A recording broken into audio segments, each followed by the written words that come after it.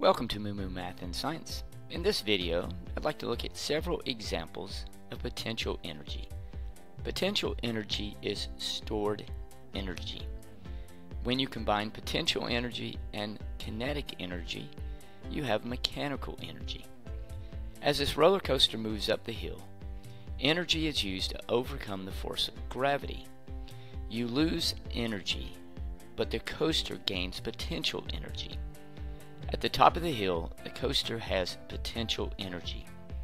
As it moves down the hill, it now has kinetic energy. Combine these two and you have mechanical energy. This water moving over this ledge is another example of the combination of potential and kinetic energy. The white water at the bottom of the ledge is a result of the potential energy of the water at the top of the ledge and the kinetic energy of the water falling.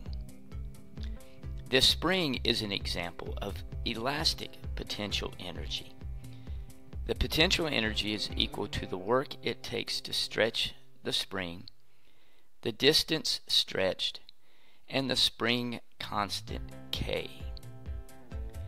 This piggy bank sitting on top of the box is an example of gravitational potential energy.